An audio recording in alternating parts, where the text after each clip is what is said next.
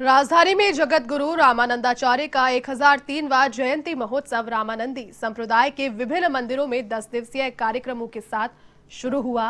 रामानंद संप्रदाय के प्रमुख संगठन श्री मन्न नारायण प्रन्यास मंडल के अध्यक्ष महामंडलेश्वर पुरुषोत्तम भारती ने इस पर बताया कि छोटी काशी में निवास कर रहे रामानंद संप्रदाय के श्रद्धालुओं ने घर पर ही जगत गुरु रामानंदाचार्य महाराज के चित्रपट की पूजा अर्चना की। ये कार्यक्रम आगामी दस दिन तक चलने वाला है।